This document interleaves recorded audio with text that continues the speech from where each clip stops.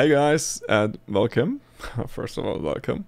Uh, today is about another video for the bridge optimizer, and I want to do a little update video on the code because some things changed and nothing really on uh, terms of the functionality, not really, but more restructuring or refactoring the code. So, um, yeah, just come with me on that ride and um, take a look at what's changed. So here we have the GitHub repository. And in the code page, you have this uh, commits, so you can easily look that up. But uh, let's first go into the issues. So right now there are not any issues, but there are, of course, but I didn't write them until now. And um, the issue I closed was uh, more classes needed. And those can be broken down, and I broke them down into two separate things. One is um, creating classes in a data structure for handling load SPC, load collectors, load step, and whatnot. And the other thing was to do the same kind of thing um, for material property component handling. Right, so let's take them each by each. Um, and you can see also from the commits uh, page. You can also click on any uh, comment here, for example. Let's see, here, uh, restructure more classes for data structure. Go into here and you can see what changed, right? But I think it's rather difficult for you to follow um, if you just look at all the code. It's better to, uh, at least I think it's better, to just having me explain that one times more in a shorter way because I assume that you already know a bit about uh, the structure and um, I will talk you through it. So I think it's more pleasant also for you to get an update from the code. Um, yeah, so we have here now, uh, where are we coming from? Video 2 of the series had three classes in total, right? So, uh, so here we have the video, right? And uh, you can see from the structure we had three classes or three files I should say. Three files and also I think three classes. So hypermesh starter mesh and script builder and all the information was put into the mesh class and the script builder just put it the TCL commands together. And it's not very tidy um, so not many packages all in data structure which did not make any sense. The main class was called mesh which bothered me also a bit. And so I restructured all of that. And yeah, so let's begin. So Bridge Optimizer is now the new mesh class. And also I think I I um, said that here. It used to be called mesh, that you can see the reference. And this main class has now not any properties anymore, right? So I think also the imports could have uh, use some refactoring, but no, I think that's okay. So right here for the main method, you go through here and the, the first things which change here is uh, the rods. The rods are now created via a separate method. And that's actually the second part of the issue. But um, yeah, that you just see what, what changed. So rod creation and also here uh, property component, I packed that part of this the thing here into a separate method, a class method of the rod class. And then write rods is also completely renewed because it now uses the information based on the instances of the rod class and boundary conditions and loads, load step, you can see that now instances are created, right? So for a force, I really create an instance of the class force. But now this is the first part of this issue, right? So here, uh, let's go back here to the issue. So the first thing was classes for handling load, SPC, load collector, and whatnot. So here, loads. Um, you saw the main class changed, and also we have now a package here. Data structure, we had that before, but now we have a sub package, subfolder called hypermesh. In this hypermesh folder, you see different uh, files with classes in it. For example, the force class you can see here. And I um, made a, a, little bit of effort to just uh, document it a bit. So you have a single point force, which takes into a into a uh, parameters or the input parameters when constructing it here. so it takes in a load collector because every force has to have a load collector where it's um, where it's um, yeah where it's located at. And you have a x, y, and z value, which are indicating the amount of force in the x, y, and z direction. Nothing fancy with um, custom systems, but maybe that's uh, part for a different story. And here, it's the most basic class you can think of, right? Just a constructor here with init, and you assign the val values, and I think that's about it. right now, I'm not even sure. Yeah.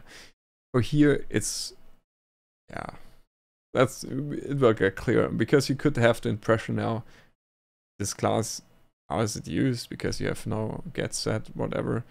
Um maybe you could get around with it. But the, the thing is the magic happens with the load collector.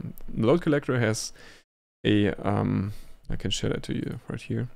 So load collector has first of all here instances and i will use that quite a bit but what i want to show you is that um, it has a list called loads. And this can mean loads in terms of forces, but also loads in terms of boundary conditions. So both can be in it. As with the load collector in Hypermesh, you can assign um, SPCs there, forces, pressures, whatever. But pressures are not done here, but would be implemented in a similar manner. So the load collector um, class has this instances list. And because at a later point in time, I want to iterate over all uh, load collector instances. And for that reason, whenever I create a instance via, by using this method, the first thing or second thing here, what I do is I append this instance, so the instance of the load collector, to the class variable instances. Right? So every instance of load collector has some values or some properties. But this class property is just, just one time there for the whole class. Think of it as a list of all instances of all instances I created onto a certain point. Maybe yeah, we, we, I could show that to you if that's a thing you want to learn more about. Maybe I make a, a small sample where you can see that. But for now, and uh, because I want to have that video a little bit briefer, um, I will skip that. All right, so load collector. It has this initial uh, initialize, uh, yeah, or the instantiation method. Um, then you have a get ID. So that's also a pretty uh, cool thing because you have a list which is ordered, and there you have your instances of the load collector. The ID is just the index plus one because index uh, the ID starts with one. So get ID is just a simple, brief way to get this more complicated uh, equation here. All right, then we have um, load collector type. Yeah, there are different kinds of load collectors, and the way I implement it right now is that you have SPC load collectors and load load collectors, forces. Um, the way or why I differentiate between them, because I want to assign them into the load step. So load step, quickly jump over here. The load step has the same pattern with the instances, but it has a particular SPC load, load collector and a load load collector, meaning here are the boundary conditions and here are the forces. So going back, here I just find out which one is that and check also if it has an homogeneous type of loads in it. So you could imagine that you have a load collector where you have two SPCs in it and three forces. And right now that's forbidden. Even if that's possible, and I know you can use the same load collector for both, but uh, it's not possible right now here.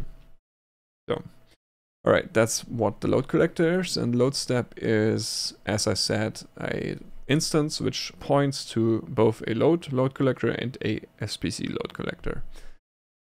And it also has this fancy get ID. Now, this is all an SPC, sorry I forgot that. You need a boundary condition as well, so single point constraint. Um, you have the DOFs, which is this list of degrees of freedom. So from 1 to 6, meaning XYZ translational is 1 to 3 and 456 would be XYZ rotational. And minus those six nines, those uh, this value means that this stuff is free, so not constrained in any direction.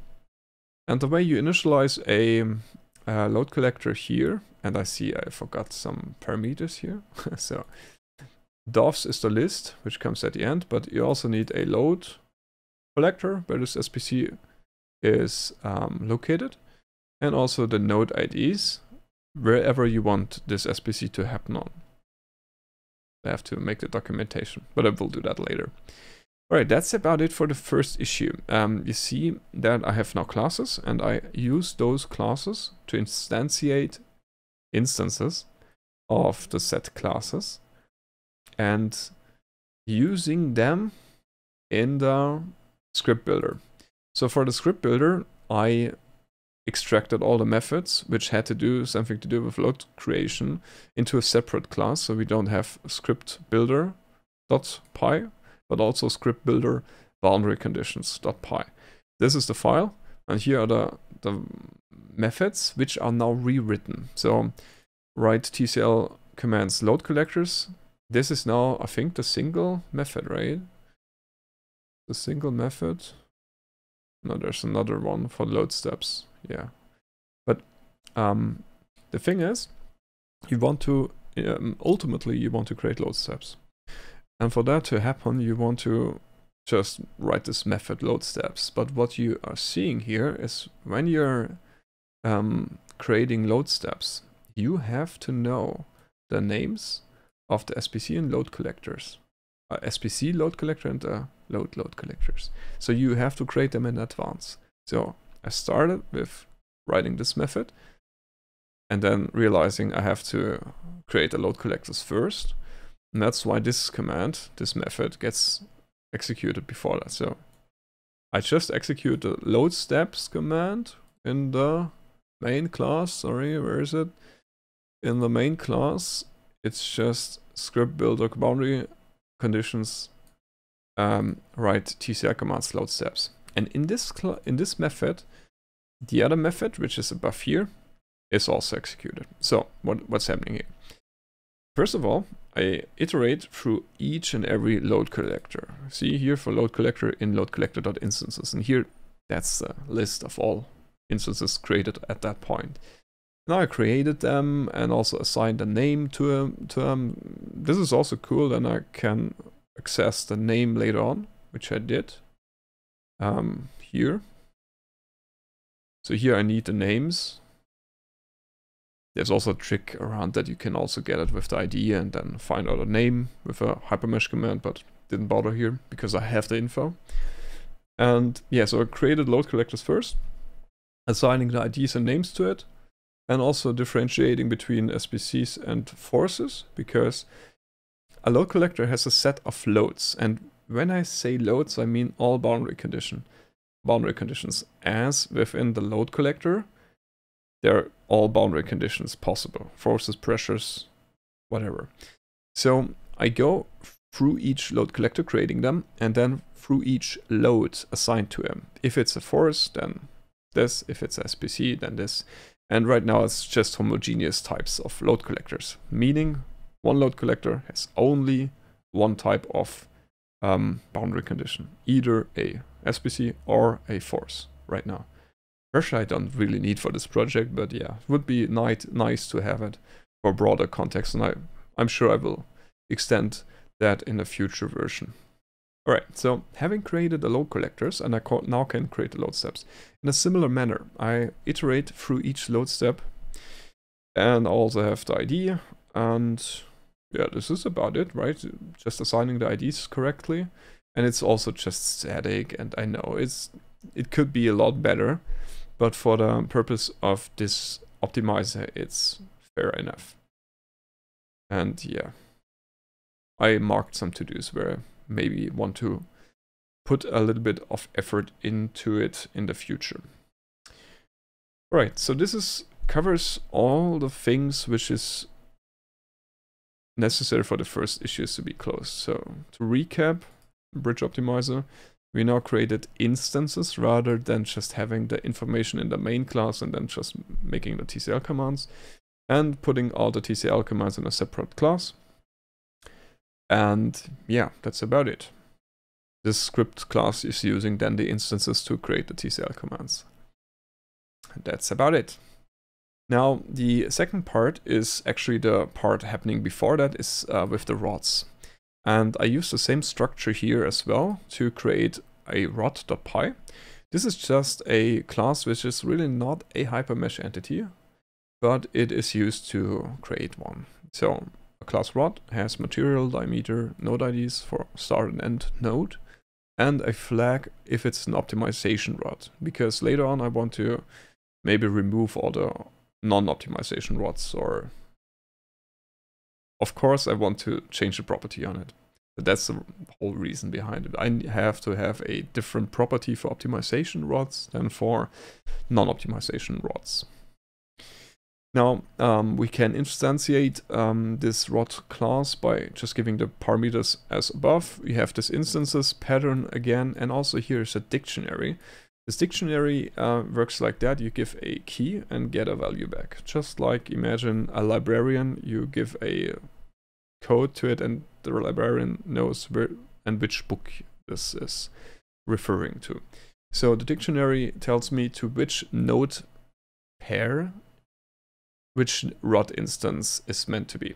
It's just a way to quick, quicker get the rod instance later on, not having to iterate over all instances and find the right rod. And it's just an assignment here, and I have a class method, create rods. So here the rods are created. And this is the thing taken with the um, distance, the neighbor distance threshold, which we covered in the mesh.class um, in mesh.py in the last video. So here it's the same thing. But um, the TCL command is not executed, it's just the instance which is now created. And also created another method here, toggle optimization, which just switches the toggle the optimization on or off, which I will use in the future. And then the model entities, this is referring to the model entities here, which is basically the material, the property, and the component. I skipped the beam section because I don't think it's really necessary because all what you want to do is give a diameter because that's all what's um, implemented right now and I think I don't need any more. Um, yeah, but maybe that will also change in the future.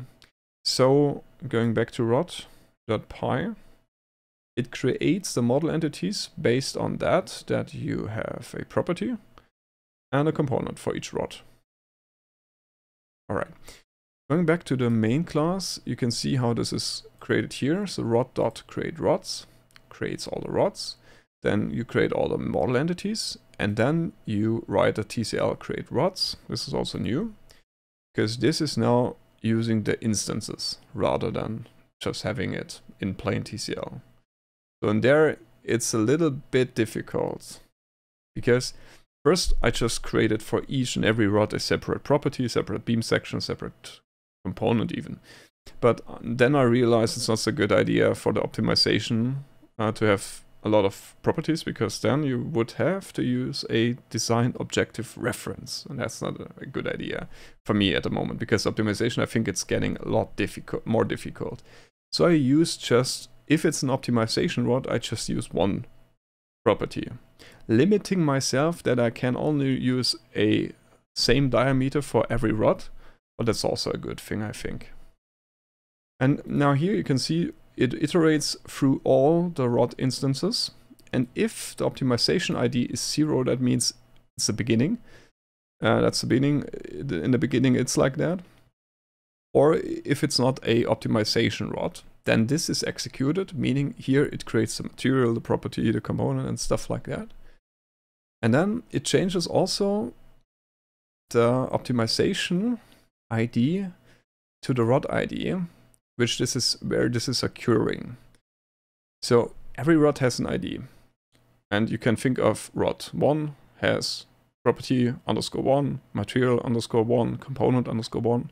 And when the first rod is found which has an optimization, for example 4, then this ID is the optimization property. Property 4, material 4, etc. And then I don't have to create another uh, property component for optimizations. That's why this is now as an if. if you have an rod optimization, so this is uh, not rod optimization, this is false, right? No, this is true. Uh, rod optimization is true. So this is false. So it's not going that. And the optimization ID you changed here. So it will not, for the second optimization rod, it will not go into that block anymore. But just use uh, the ID, which is already here. And here, if a rod is an optimization rod, the ID is the optimization ID you found, or else it's a rod ID. And then you put this rod or this ID into the rod parameter and put the command here. That's basically it. It's a bit difficult um, to understand maybe uh, for the first time, but if you read through it and think yourself through the code, I hope it gets more clear. All right, I think that's um, about it. And I think just to show you what it's um, doing here, I will execute it. And the execution method also changed. It's now executed like a module. So Python minus m, m for module, and now bridge optimizer uh, dot bridge optimizer, optimizer, optimizer. And if you do it like that, Hypermesh should start. Maybe I could be that I um, disable that, yeah, because of the scripting. But it's also okay. Now we can look in the code. Here you have the section where you create the nodes. Maybe run it once more, then we don't have to wait for it to finish. Right now it's booting up. And if you see through the TCL commands, all right, so you have the first block here with the create nodes. Then you have your first material property component block. And now you have just the rods. Because I don't have any non-optimization rods, it's just that. And you have here you, all your elements. Then you have your load collectors, SPC loads, whatever, and then the optimization. That's everything. Alright, so I will be right back when this is executed and show you the final results. And yeah, seems good. Um, compared to the last iteration on video number two, it's smaller in size because then I don't have to wait this long if I'm just iterating and checking if the design works. But this should now work if I just make our simple OptiStruct run here. See if that works, but uh, pretty sure it does. It's it's not it's not perfect, and here I can start talking a little bit about my ideas on how to move this project further.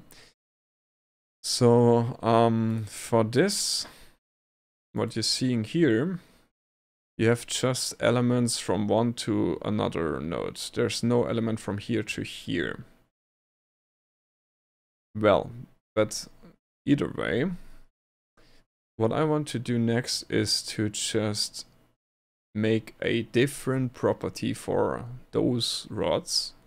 So those rods are set. They are cannot be left away. Sorry, the licensing, licensing sometimes doesn't work here. I'm supposing that it is on the cable internet because if I rerun it, it works. I don't know why. Some timeout setting. But what you can see here, so this is not a design proposal, right? It makes sense it wants to minimize the mass, but also constraining this, um, this, the deflection of this node. But for a bridge, it would not have any elements here. So what I thought would be interesting was, and I can maybe do that quickly manually here,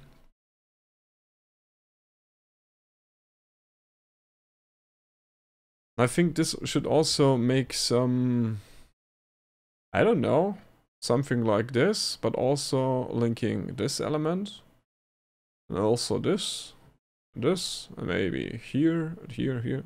We will see about this.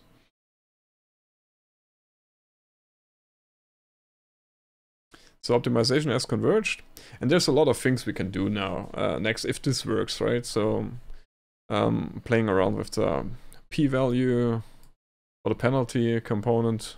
Yeah, so we will have a lot to do. So, all right, this was not intended. Seems like it has gotten rid of everything. But this would indicate to me that the displacement constraint is far too um, small. Because now it's, yeah, it's moving to the power of minus fifth. You see here that um, the, the deconstraint value, or how to set it, is rather important, right? So let's just quickly um, to see if that is the case, and then I will leave you alone with that to see if this to the power of minus minus five. Let's make something like four or three. Hmm. Let's go with that.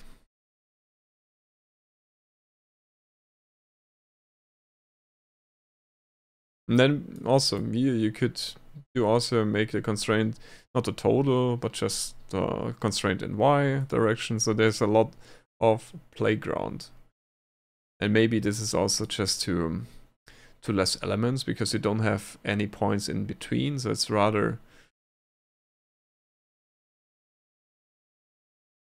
yeah you know there's so many many things uh, you could do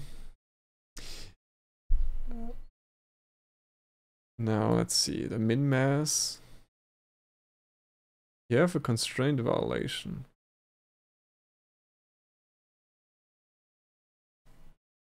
But that's good, because if the constraint violation is active, it's set to the um, to the limit, so it's active. That's that's good. So you see me as just playing around a little bit, right? But here you can see now yeah, this is what I was for, uh, thinking. So you have something like this, and both are connected. All right, I'll leave it at that, folks. Um, thanks again for watching. If you like uh, like that video, please consider subscribing, liking the video. If you have any questions, comments, feel free to comment as well, and also to contribute to the code if you want to. And um, yeah, for that being, uh, I hope you have a good time and see you on the next video. Goodbye.